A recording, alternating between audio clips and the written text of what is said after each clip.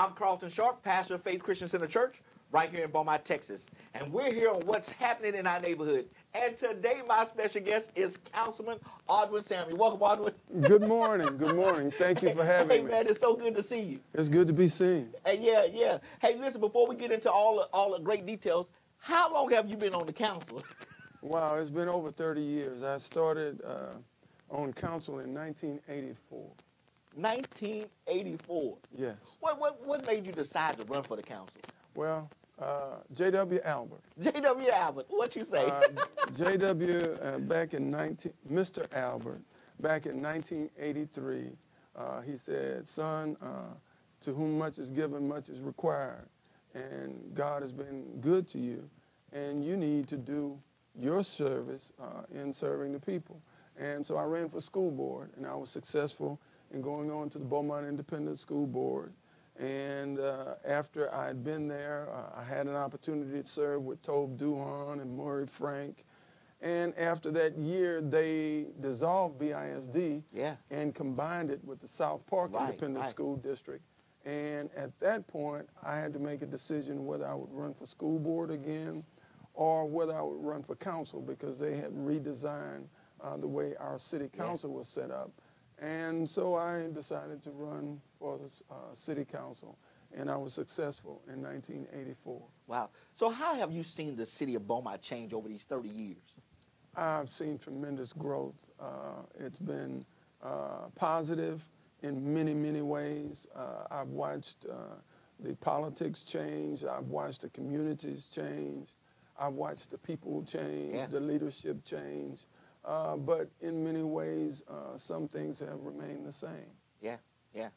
Okay, so now, now, just a few weeks ago, we all experienced Hurricane Harvey, and I mean, it it, it brought some serious devastation to our city. Uh, uh, but you were out there on the front line, uh, taking care of business. Every hurricane that's come through Beaumont, uh, I've been in the city, even when there was evacuations. I, I remained here. I, uh, I had my family to get out, but I remained here uh, to serve, and that's my job. And uh, so this was uh, different from any other hurricane that I've seen. Uh, there have been those that were scarier, much scarier, Yeah.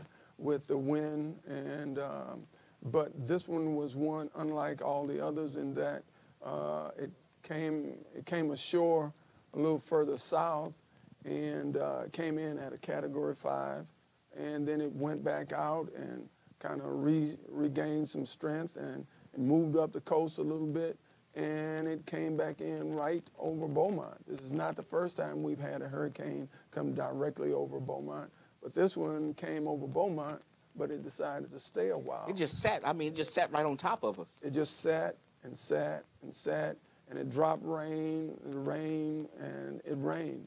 And um, considering uh, we did fairly well in dealing with uh, much of the rainfall, uh, but it was uh, a lot of people did not understand uh, the whole system of uh, the flow of the water from upstate uh, on down to the Gulf. And Yeah. people were talking about how they opened the dams and they could have, uh, but there's not a lot of understanding.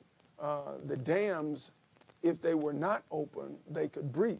Yeah. And it would have been devastating, even more And, so. and- and you want to control. You wanna control You, the want to control it. yeah. so uh, we have to deal with uh, Steinhagen Dam, Dam B, uh, uh, Sam Rayburn Dam. Uh, all of those up, upstate, they control the water that flows down to through the rivers, uh, into the canals, and out to the Gulf of Mexico. Yeah. So um, uh, it was devastating uh, the amount of water that we received. Never in history had we received uh, as much water as we did with Harvey. As a matter of fact, uh, uh, I, I received a call from you uh, because you actually were going knock on doors, especially down in the what we call the bottoms, In the off- bottoms. off, off of Pine Street. Uh, you actually were going to knock on doors to inform people, hey, listen, this is not the storm to play with. This water event is for real. Yes, because once before, that's not, I've, I've gone through the bottoms at least, uh, this makes about the third time that I've walked and knocked on doors telling people they needed to leave. Uh, uh, but this time it was not because of the anticipated storm surge that goes along with the, the storm itself, but it was uh, the opening of the dams and the flooding that could be. So those were uh, some serious concerns, and I wanted to make sure that the people understood how serious it was. Yeah. And that's why uh, it wasn't just me. Bo Alfred Yeah. and Zena Stephens, they got out. We we all met and we we said, you know, I don't we don't think the people truly understands how devastating this is going to be because the storm had kind of moved on. Right, right. But uh, we got together and we said we wanted to make sure the people understood how serious it was. So Zena got got some of her deputies out. She got out knocking on doors herself. Bo, he got out there knocking on doors himself, and I was knocking on doors because we we're all from North End. Yeah, We- you know, my wife and I, we, we even joined in. We were out in the Pine Club and, and we were knocking on doors like, hey, man, this is for real. this is for real. Yeah. The water will rise. It it it, it will You know? And it did rise. Yeah. And it uh, it got to a level that I'd never seen it before. Yeah. So it was a, a devastating storm, and even compared to other storms that we've been, uh, encountered, it was devastating. Now, uh, uh, another event that happened was we lost the water system. So, so, so tell us, you know, about why we lost this system. Okay, well, the uh, pump station that took in the water from the Neches River, uh, uh, it, it went down, and that caused us to lose pressure in the lines, and we lost uh, that, that for a while. And that was a serious uh, issue, and before we could bring it back up, uh, we had to get to the pumps, and after getting to the pumps, getting the water out, getting them back running, it had to be okayed by TCEQ. Right, right. Uh, so those were uh, some things that um, we hadn't experienced before. And, you know, I, I believe there's a time and place for everything under the sun. Uh, so there's a time that we're going to address that. Uh, we've gone through several storms. We never had that problem. Right. We've had rising water. We've had some, uh, the river uh, coming, never quite that high, but still, um, there are some things we will discuss to uh, try to make sure that that doesn't happen again. Now, now was the age of the uh, the pumps uh, uh, part of the factor that we lost? No, Okay, no. Because was- that, that that has been rumored that because the pumps were old. Well, Uh, you know, Carlton, that, that's one of the things. Uh, uh, I had never really got out on Facebook or public social media like I did this time. But it got to the point that I was hearing so much incorrect information being given. And rather than allowing people to become afraid, God doesn't give us a spirit of fear, right. but He gives us that of a sound mind. Uh-huh. And He says we must uh, uh, allow the people to understand, present them with knowledge. And so that's what I decided to do. Uh, I decided I would try social media, and wow, it it, Yeah. it works. Because hey, hey, Audwin, I'm, I'm listen. Every day you were giving updates. every day, night, uh, sometimes in the middle of the night. Yeah, yeah. Because as as I saw the water rising over on East Gill and Pine, uh, when I I went out with a firefighter, uh, it was almost 11 o'clock one night, and I saw the car that had run off into the ditch, missing the canal by five yards, 10 yards. Wow. Uh, I just said we we cannot allow people to be blind. Um, I, I do have concerns.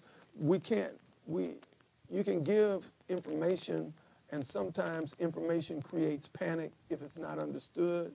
So uh, I can understand why there's a hesitancy to put out too much information. But we God gives us some wisdom. He gives Right, us right. discernment, and we have to do. Uh, there were times I stepped out uh, outside of what would be said was a proper thing for me to do, but um, it is what it is. But you know, you, you know, Audwin, I didn't see uh, many other officials who were using this this platform because it's a platform that could be used to get information out. Well, uh, there's there's a flip side. There are things that go along with that. Uh, some of your peers, uh, sometimes uh, people misunderstand. It was stated that I was grandstanding, trying to. uh, Yeah, It yeah. wasn't political. It wasn't about politics. Uh, I love my people. Yeah. And uh, if I had not done those things that I did, uh, I would be less than an, an, elected official, but I would not be a brother's keeper. Right, right, and right. that's that's why, you know, at at some point I said I don't care what other folks think. Uh, I I go to these three things now. It is what it is. Yeah. I can't change anything that happened yesterday. It's gonna be what it's gonna be. But most importantly, people are gonna believe what they're gonna believe. That's it. That's it. So, hey, I'm good with that. And, and, some people assume that you were doing it for political reasons. That one, that that you wanted to run for mayor. Uh, so, so, I have I have no desire to be the mayor. Uh, I can do uh, just as much or more uh, than I feel God has chosen me to do from the position of being on the city council. Uh, so as far as that, that's not what it was. It's not even about an election. Uh, after serving 30 years, you know, if uh, if if it's time for me to go, the people will let me know, and you know I move on. But that's not that's not what. Yeah, because I, I, wanted to make sure that the, the viewing audience understood your stance on that because you know it, it had been you know people people are people and, and, and they were start saying things and that Audwin's want to run for mayor and and today and even before you said that's not my point. My point is just to inform my people, hey, this is what's going on. Well, Pastor, one of those things that I, I thank God that He's allowed me to understand uh, about battles. The battle is not against flesh and blood. That's right. That's right. But it's against principalities yeah. and powers and spiritual wickedness in high places. So you, we have to be able to understand and know the enemy and the enemy is that spirit of darkness, that spirit of, uh, of evil, that spirit of wickedness, that spirit of underlying backbiting, all of those. Those are works of the flesh. Yeah, yeah. And now I'm trying to focus on uh, the things of the spirit, looking toward the light. And, you know, I'm not going to trip with those. Yeah. So I, I just say, uh, I, I pray that God would order my steps, and He did. So where does the city go from now, from here? Well, we're now, I mean, we went from preparation because uh, I was meeting with the EOC uh, before the storm got here. We were watching the storm come. We watched it go in at Rockport. We watched it go back out. We watched it move down the coast. And then uh, we went to uh, preparation in, in, in having um, a safe haven had to make decisions whether we would ask people yeah. to leave or right, whether right. we'd allow them to hunker down and stay. And after that, then we went into the rescue mode. We had to go out and see and make sure those that stayed were okay, whether they had food, whether they had water. Uh, that was the third stage of that. And after the rescue, now we come to uh, restoration. We have to tear out those yeah. things that were damaged. We have to uh, rebuild. And after we finish, so that's the stage we're in now, uh, restoring, uh, rebuilding. And uh, after that, then we're going to review. Ah. We have to ah. debrief, look at what we did right and what we did wrong or what we might do differently. Now, one of the challenges, because we were a part of making sure that, you know, people had supplies you know, mm-hmm. initially when they first started. Mm-hmm. You know, several of us got together and said, "Hey, let's let's make sure that we have supplies all over the city at different churches." Mm-hmm. Uh, but I found that it was difficult to, to get with leadership to get us the supplies to the churches who could make the, the impact to, on the communities. Well, uh, that's where I think it, when you you can have knowledge, but knowledge without understanding means nothing. But knowledge with understanding and time and experience brings about some wisdom. So we've seen these things happen before. Yeah. I I had problems with the way some things went, but I didn't make those calls. So I had to make a decision uh, to try to do some things on my own. Right. So the EOC, I, I commend our uh, Emergency Operations Center and the commanders in, in that center I commend uh, our police and fire. Yes. I commend all of our city employees from uh, street and drainage, That's water right. and That- sewer, sanitation. They were working 24 hours a day, Parks and recreation. uh, I and you know, filling sandbags, getting out there to cut trees out of the street so people could pass. Uh, finance to make sure we had the money uh, to utilize contractors to do certain things. And I, I have to commend our city manager and his Yeah. staff. Uh, they did a wonderful job. They worked. They did not stop. And the mayor, you know, I've heard a lot of things about uh, where was the mayor. Yeah. You know, uh, the mayor doesn't. She doesn't get down like me. I mean, she don't put on her gym shorts and get out there and, and knock on doors. That's not what that's not what she's best with. She had a responsibility and she did her responsibility whether people saw it or not. Right. But there's, you know, we have different we have different roles and everybody has to play their role. Everybody has to play their part on this team. So um, I, I've heard all kind of things, uh, but you will know who truly loves what they do by when you see them. If you see them only in a time Yeah. of a photo op or Yeah. only Yeah. at the time of some crisis or only at election time, then that can cause you question. But if you see them Constantly. constantly in the community, that means something else. Yeah. So um, uh, everybody worked. Uh, the team was working, and I, I think uh, uh, uh, it worked well. We still have some things we can work on. It, we can always get better, but you always have naysayers. Yeah. So after the restoration comes the review, and then once you do the review, you'll look at all the good and, and the things that were challenging, Mm-hmm. and then you'll make some changes where necessary. I mean, that's you know that's just a part of the process. That's a part of the process. Just like I was an athlete all through school. You have to be prepared. You have to work out. You got to work, get your strength. Yeah. You got to understand your opposition. You got to understand your plays. You got to understand your game plan. Then when you go into the game, win or lose, after the game, You you, have to look film. at you have to look at the film and see Yeah. how whether you got off Yeah. script, whether you followed Yeah. things as they were supposed to do, or whether you needed to change your attack or change. So now is the time that after we begin, finish with some of the restoration, then we will uh, look, we will review, we'll do some debriefing, Yeah. and we'll see what we can do better. Now, uh, when you are in a time in your life where you have your son uh, uh, partnering with you, how, how, how, exciting is that for you? Man, it, it is truly a blessing. Uh, I can't uh, I can't express how important that is, uh, and I'm not going to do that here because uh, I might get. Uh, Yeah, I might little- have to get some tissue for Might you. have to get some tissue because you know he's a he's a good kid. I mean, well, not a kid. He's, Yeah. he's a fine young man. He just turned uh, 36 yesterday. Um, uh, he's very articulate. He's bright, and he's humble. You know, uh, every day he he's been around me uh, now, and he's still yes sir, no sir, uh, yes ma'am, no ma'am. Uh, he's just an humble kid that uh, God has used him, and he has some great things in store for him. So I'm.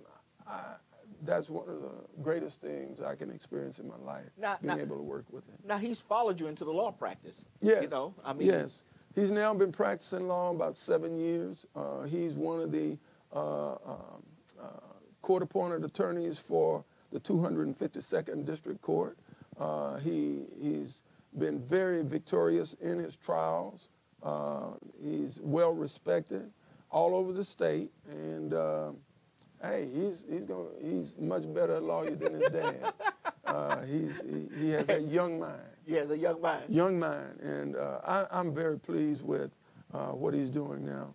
Uh, I'm ready to pass this on to him, and I can go out to pasture and do something else. so, so, so you're not talking about retiring or anything like that, are you? I, I'm, I'm, I'm ready for it. Uh, uh, I have uh, three grandkids now, uh, two uh, grandsons and one granddaughter, and my granddaughter has me wrapped around her finger. So uh, I'm really wanting to uh, enjoy that time with them.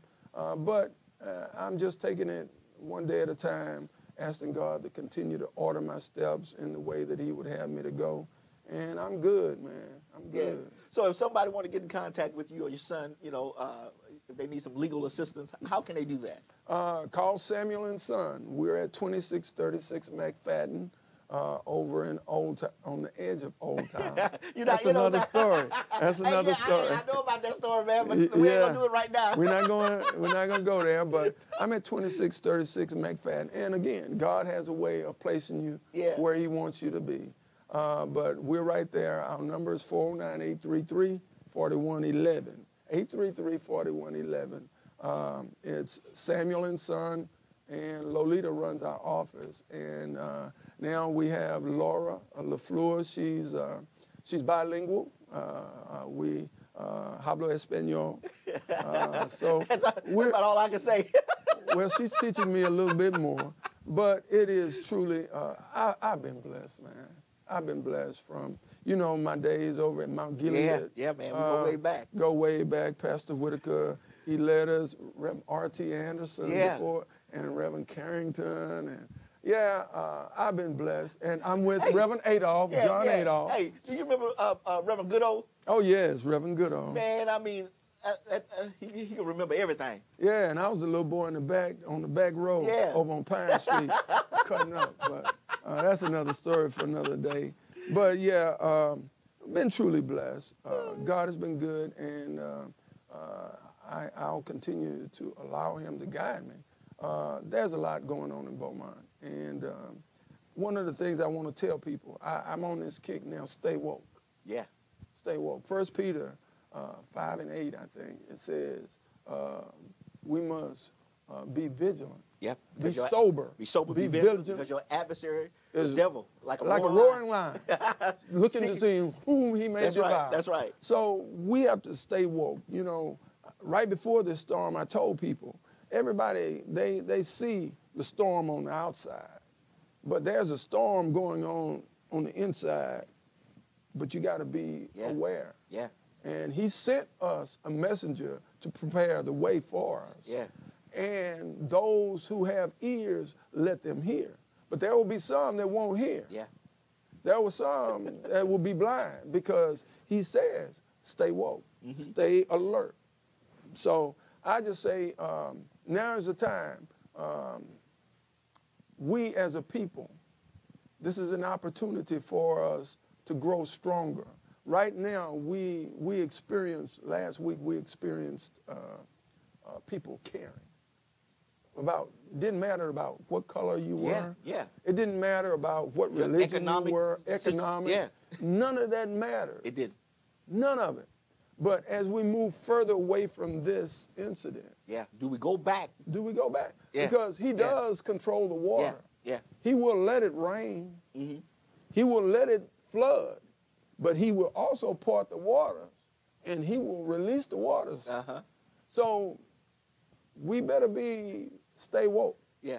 Uh, so that's my thing because if we don't be a part of the planning, we're going to be a part of the plan. and right. there's so much going on across our nation. Uh, the storms kind of washed a lot of that to the side.